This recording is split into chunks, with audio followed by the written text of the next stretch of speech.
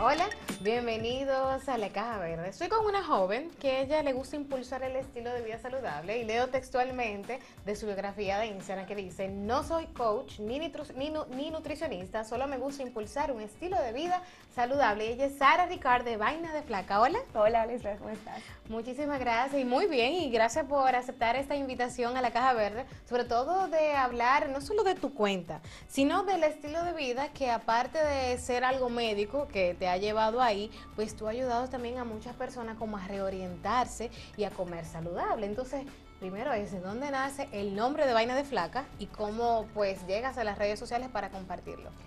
Bueno, Vaina de Flaca nace porque cuando yo estaba muy, muy metida en hacer el cambio, eh, y le explicaba a las personas que yo tenía alergia, que yo tenía esto, que no puedo comer esto, que sí puedo comer esto, la gente decía como que esas son manías, manías tuyas, son cosas tuyas.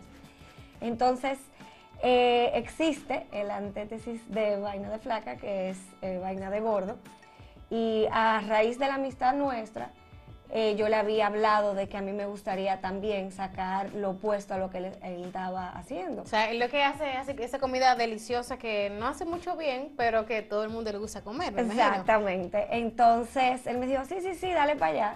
Y yo empecé a hacer básicamente lo mismo, pero con comidas saludables.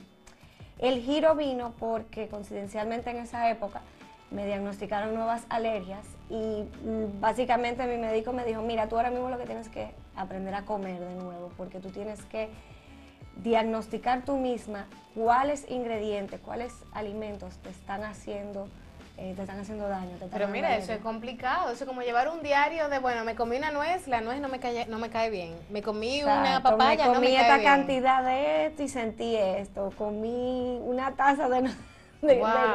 y no es fácil. El primer mes sí te puedo decir que se me hacía un poquito difícil. Y decía, pero ¿y, qué, ¿y cómo yo me voy a hacer? ¿Y qué, yo voy a comer entonces? Exacto. No nada. Exactamente, así mismo fue. Y yo dije, ok, yo necesito como un diario para mantenerme motivada.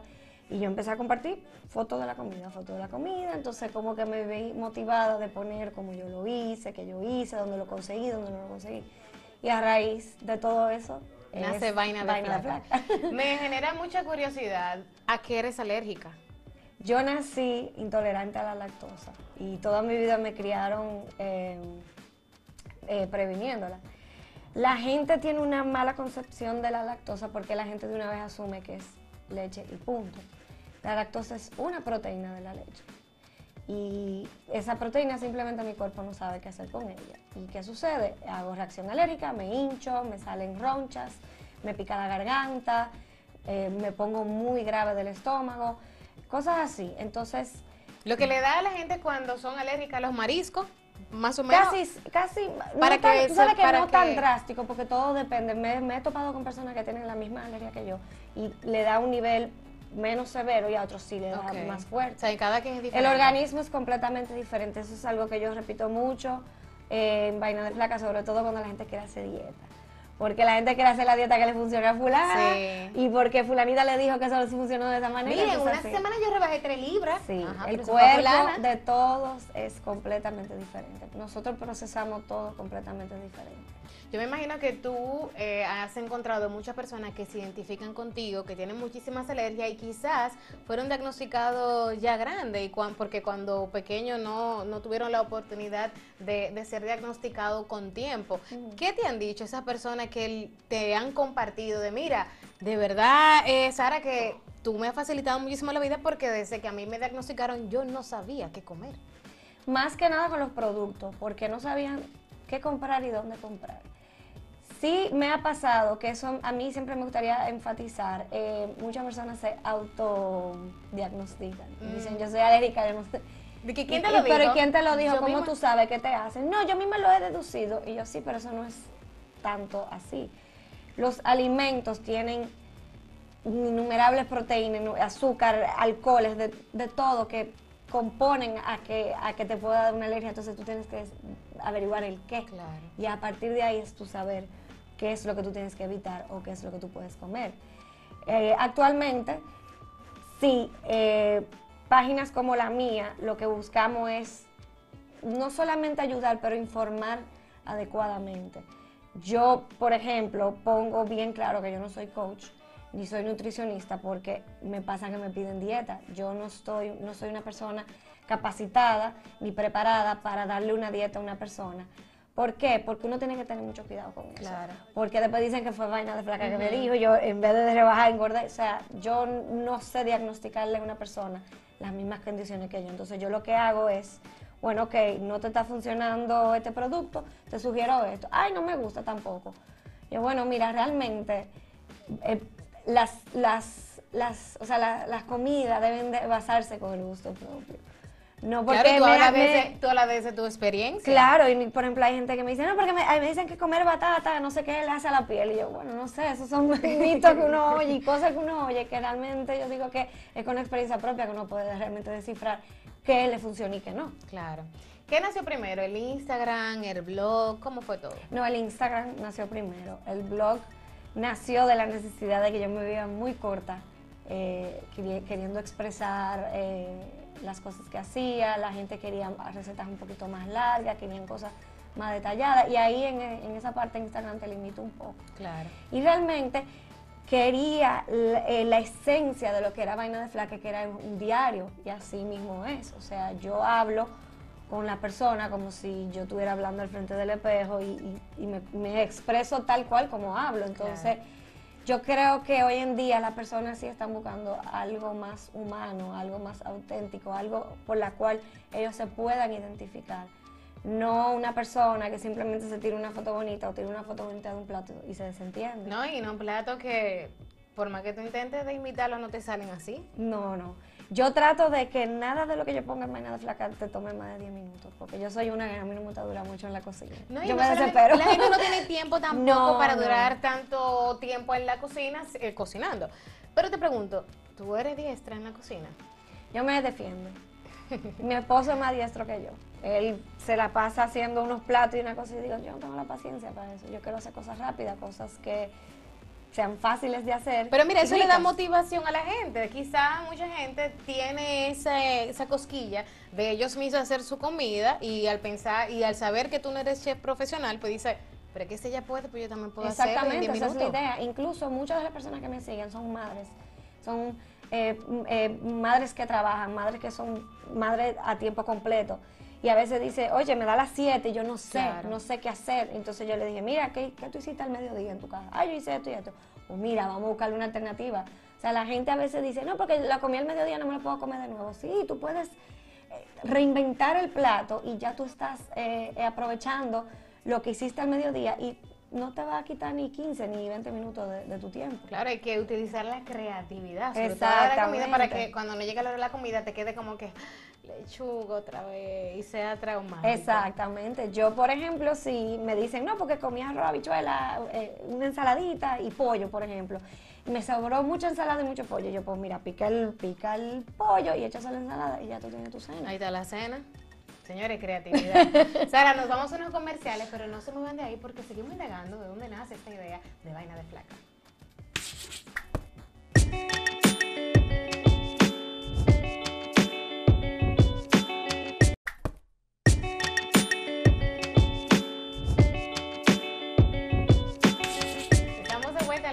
Verde con Sara Ricarde, vaina de flaca. Y como me dices de que en 10 minutos, 15 minutos, tú haces así como una comida súper rápido y sobre todo saludable.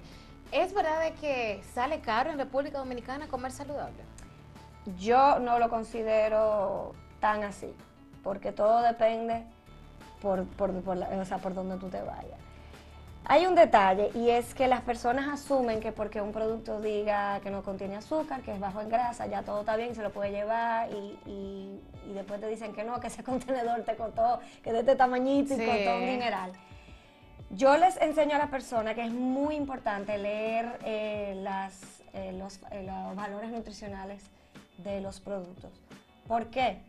Muchas veces, eso es quizá parte del mercadeo del mismo producto, lo que la persona, lo que los productos buscan es llamar la atención. Claro. Y las palabras libre de azúcar, libre de grasa, Dietético. libre de gluten, libre de no sé qué, llama mucho la atención. Entonces, eh, cuando un producto dice libre de grasa, usualmente es alto en azúcar. Entonces, ¿Están cuando tú consumes mucha azúcar, o, eh, de noche, por ejemplo, que es cuando el cuerpo ya se empieza a apagar, el cuerpo que De hace modo avión. azúcar, exactamente. El cuerpo realmente no, no tiene quizás la misma energía que tuviera a las 8 de la mañana de procesar ese, ese, Es azúcar. ese azúcar. Entonces me topo muchos comentarios de que no, porque yo estoy comiendo esto, esto de noche, que no sé qué. Y cuando yo le digo, pero es que eso tiene muchísima azúcar. Ay, no sabía que no sé qué. Entonces, en lugar de siempre- relajarse, lo que hacen es que se Exacto, activan con todo el azúcar. Entonces yo siempre como que incito a las personas que lean, que lean los productos. ¿Por qué me voy a que no es tan caro? Porque tú puedes comer bien con muchísimos productos naturales y con muchísimos muchísimos productos que nosotros consideramos malos. La gente tiene una noción de que el pan es malo. El pan no es malo. Eh, como que hay que romper con ese molde de, de odiar la comida. De Y mira, eso pasa mucho con el arroz. Sí, la el gente arroz desde no que es está malo. dieta dice, No. yo no como arroz. El cuerpo lo necesita, inclusive una taza de arroz blanco y una taza de quinoa es lo mismo. Tiene el mismo valor eh, de calorías. ¿Por qué? Porque son cereales. Lo que sí yo incito a las personas es identificar los alimentos buenos. Porque, por ejemplo, hay cereales buenos y hay cereales malos. O sea, hay carbohidratos buenos y carbohidratos malos. ¿Qué es un carbohidrato malo? Una dona. ¿Por qué? La dona está explotada de azúcar, Claro. tiene colorante, tiene uh, de todo. Bueno, Entonces, incluso leí hace un tiempo de que la dona es uno de los alimentos que tiene más alto nivel para que te dé cáncer, por Sí. todos los condimentos que tiene y, lo- y los químicos y Son demás. comidas, eh, son procesadas, son hechas, tienen de todo para que, se, para que tengan la forma que tienen. Las donas las, las fríen, Sí. no es que las ponen en un, en un horno, las, las donas las fríen y duran largas horas en una freidora. Y no, y Es también duran largas horas en un, Exacto. en un estante. Que tú no sabes si la dona que te están dando en ese momento está fresca. Entonces, es un ejemplo. Es simplemente como saber identificar. La gente le tenía miedo al casabe. El casabe no es malo, el casabe es buenísimo con jamón de pavo, con un huevo hervido. Y tú te estás dando una buena, una buena dosis de carbohidratos. El cuerpo necesita carbohidratos. bueno, y sabe Las bueno. personas necesitan el carbohidrato. ¿Por qué? Porque ¿qué hace el, el cuerpo con los carbohidratos? Lo convierte en energía. Entonces yo siempre le digo, a la- yo trato de consumir más carbohidratos en la mañana que en la noche. El carbohidrato de por sí es lo que más yo me apego y es lo que hace que yo suba de peso. Yo soy una persona que sube y baja de peso como cualquier otra persona. Inclusive yo acabo de llegar de mi luna de miel y yo estoy fuera de borde para mí. Y tomo con unas cuantas libritas Claro, porque hay que disfrutar Claro. también y uno no puede perderse en que yo no puedo comer esto, yo nada más como lechuga. No, comer sano no es comer lechuga nada más. Comer sano es saber comer bien, saber identificar qué te funciona y qué no. Ok, me bebí una copita de vino, bueno, quizá mañana incrementa media hora más tu ejercicio. Y- o toma más agua. O toma más agua, exactamente. Es como hallar un balance.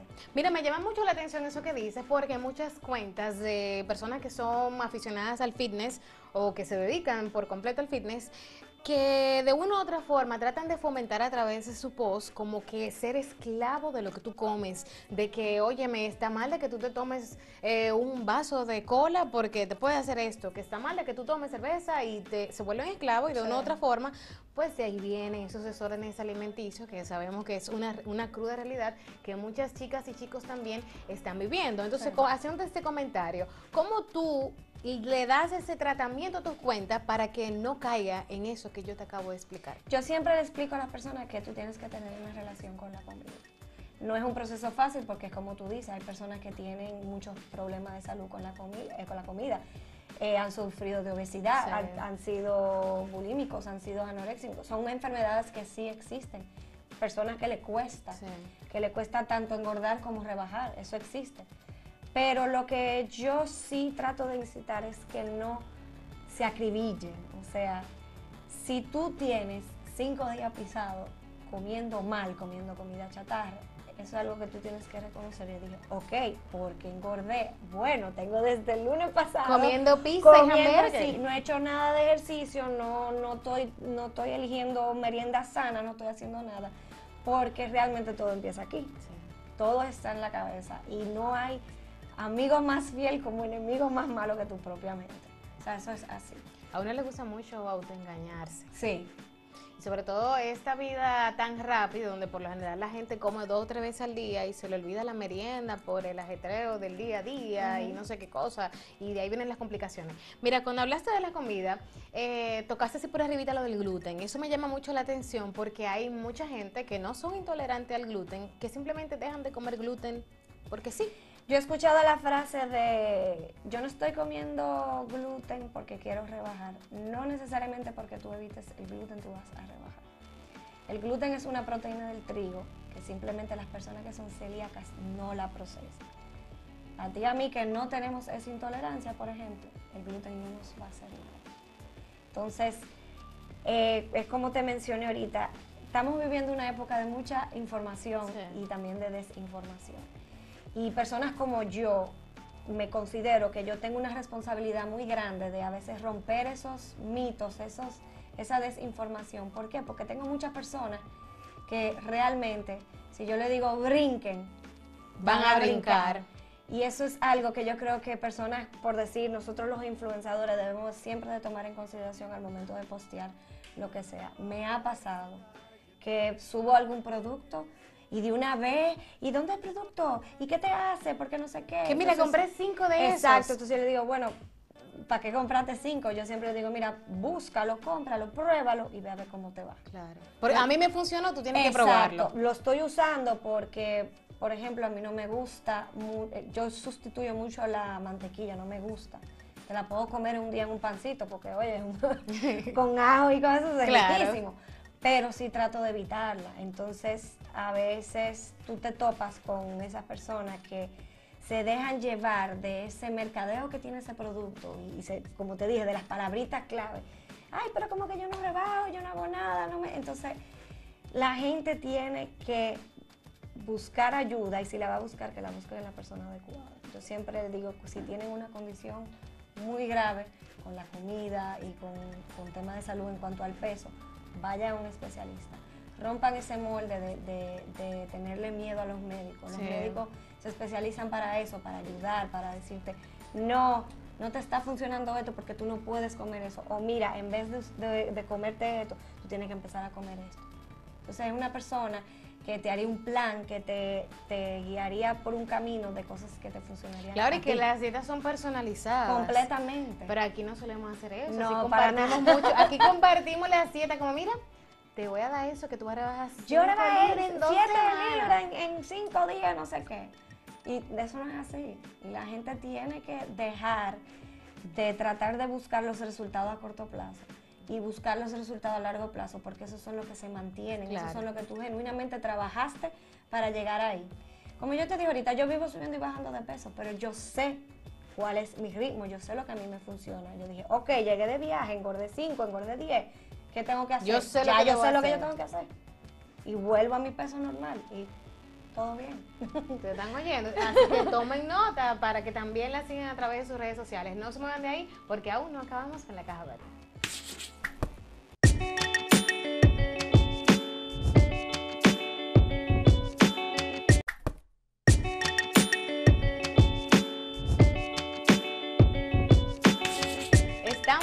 De vuelta.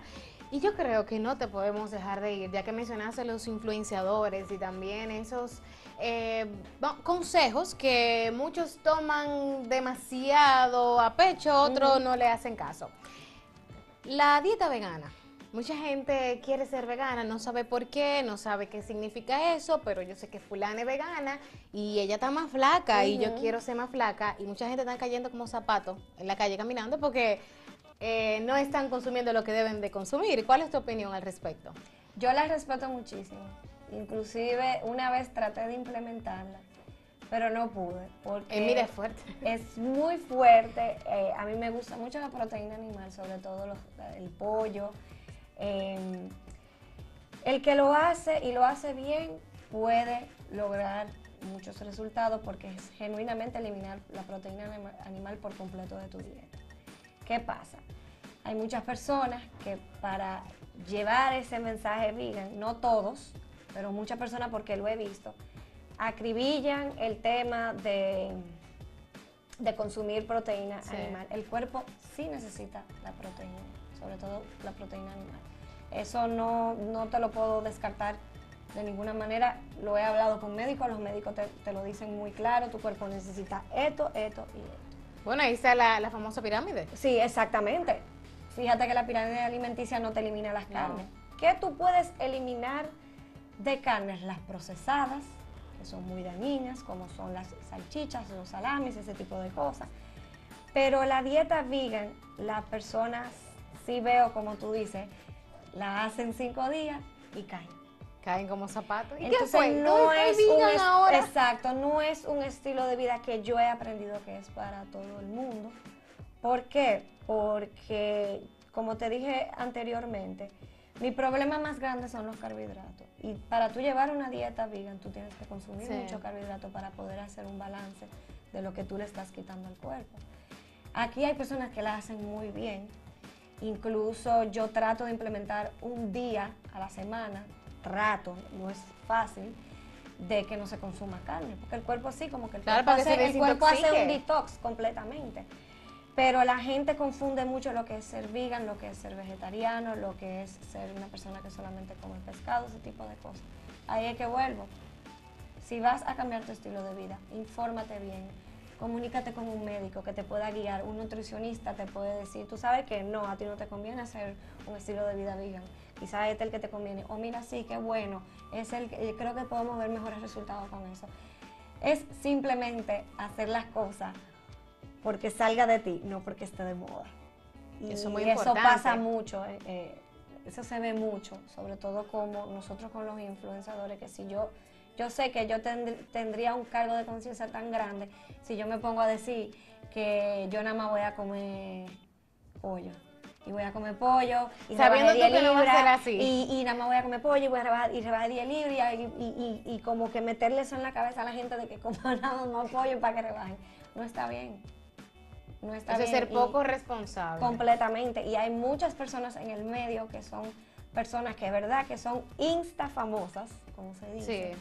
Tienen un buen número de seguidores, tienen, tienen ese, o sea, ese empoderamiento, pero son personas que no tuvieron ningún tipo de capacitación, ni, ni, ni estudiaron, ni, ni- Señor, un médico dura toda la vida. Claro, no para de estudiar. Exactamente, y por veo bastante responsable que tú pones en tu Instagram de que no soy coach ni nutricionista. O sea, quienes saben leer, porque hay gente que le pasa por arriba las cosas, sabe de que tú estás hablando desde tu perspectiva y desde tu realidad y lo que a ti te ha funcionado. Completamente.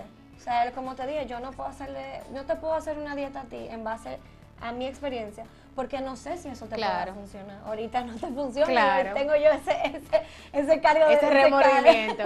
Dando un paseo por, por tu blog, pues yo vi que tú das algunos tips también para no solamente quien quiera llevar un estilo de vida saludable en cuanto a la comida, Mm. sino para ese tan molestado gimnasio para algunos. Yo leí así por arriba más o menos de que tú das una especie de cómo tú podrías automotivarte para que tú pudieras compartir con los seguidores de la Caja Verde, de quien en su casa, que quiera comenzar un estilo de vida saludable, que todos los lunes están pensando en el gimnasio, pero se le pasa, va a comenzar el otro lunes, ¿qué tú le podrías recomendar? Señores, caminar 45 minutos al día ya es ejercicio. El cuerpo necesita moverse y si tú le brindas esos 45 minutos de, de esa caminata intensa, ya tú lograste un buen ejercicio. Lo que pasa es que la gente cree que para hacer ejercicio tú necesitas la música, las luces, las pesas, las cosas. No, tú puedes hacer La ejercicio. foto. Exacto. He visto mucho eso en el gimnasio que van y no hacen absolutamente nada y lo que se tiran la foto y dicen que fueron al gimnasio. Eh, tú tienes un parque cerca, ve, camina, una, dos horas, eh, motiva a tu esposa, Pasea motiva a tu perro. esposo, pasea al perro, eso es ejercicio. Tienes hijos, llévalos al parque también, llévalos a caminar, ponte a hacer eh, eh, actividades que requiera que tú te tengas que mover, que te tengas que parar. Trabajas largas horas en, en un escritorio, hay ciertos movimientos y ciertos ejercicios que tú puedes hacer desde tu escritorio. Claro. Hoy en día tenemos todo en la palma de la mano. Y realmente yo entiendo que sí, que, que sí, hay personas que no tienen tiempo, pero ya hay inclusive rutina de ejercicio que tú puedes hacer en 10 minutos. Que puede que sea funcional o no, eso solamente tú puedes saber. Claro. Pero y tú la ajustas también. Y ver si te funciona. Exactamente. Personalizar. Yo digo que no hay excusa. No fuiste hoy al gimnasio, bueno, ok, ve mañana, incrementa un poquito más tu hora. tu Si tú haces rutina. una hora, una hora y media. Eh, no pudiste ir, trata por lo menos de dar una vuelta a la manzana, monta bicicleta si la tienes. Que yo veo mucha gente que tiene bicicleta en la casa y es como un adorno. No, la compran y duran en cinco días la sacan y luego la, la Se decoran. compran ahí. todo el equipo, tú lo ves combinadito pasa como, como si fuera una caja fuerte y después más Tú nunca. sabes, vuelves Sara, a desde que yo veo gente en el gimnasio que está así eh, muy combinada de pie a cabeza, eso no viene a hacer ejercicio, no va a durar mucho y exactamente, el que va muy arregladito al gimnasio no va a hacer ejercicio, eso está por ver. Una pregunta, ¿cuáles son los próximos pasos para Vaina de Flaca? Yo me estoy enfocando mucho en el hogar y ahora mismo, eh, como recién casada, estoy tratando de, me estoy adaptando porque quiero seguir con, con ese mismo régimen en mi casa, o sea, ya Sumar yo, al ya- esposo a eso. Exacto, ya yo estoy llevando una cocina, yo estoy viendo qué cosas hacer, más que nada para que no, para no caer en la monotonía. Van a haber muchas cosas del hogar, pero no del hogar, de que miren qué bonita está la lámpara, cosas así, no. Es como ya un enfoque a la familia, a que qué tú puedes hacer. El blog está creciendo contigo. Sí, exactamente. Entonces, a medida que ya yo tengo como nuevos retos en la vida, se, se van sumando al blog. Y eso es lo que yo quiero, como expandir más, mostrar a las personas que, mira, tú puedes hacer esto al mediodía, mira, que, mira lo que sobró, mira lo que tú puedes hacer de noche. Y realmente romperle ese miedo de que comer sano es malo, es caro, no, es fácil y tú puedes hacerlo todos los días sin darte cuenta, con muchísimas comidas que uno no considera ni siquiera 100% saludable. Claro, y rápidamente, Sara, ahora que, bueno, ya estás casada, me imagino que la frecuencia de los posts van a bajar. ¿Cómo tú manejas eso rápidamente de, de ser constante en las publicaciones con tu blog?